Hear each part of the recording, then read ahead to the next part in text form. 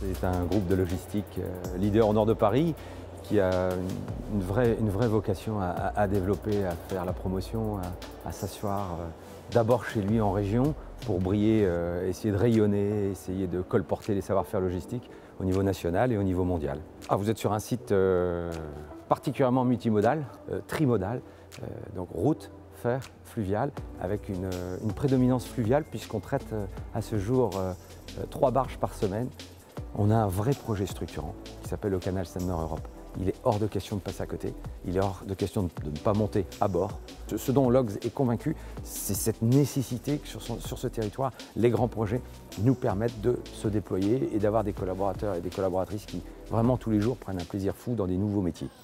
Logs aujourd'hui, c'est 1500 collaborateurs, c'est 100% d'emplois locaux. Euh, on n'a pas de délocalisation chez nous, on a cette chance. Les Hauts-de-France aujourd'hui, qu'on peut considérer euh, comme barycentre en Europe euh, occidentale, c'est au cœur de 100 millions de consommateurs, c'est la région des Hauts-de-France qui, qui, prime. Les emplois sont locaux et on est très fiers de ça.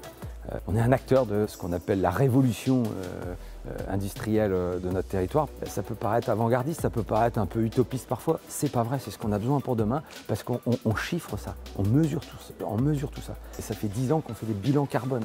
C'est quelque chose qui est complètement euh, dans notre ADN aujourd'hui.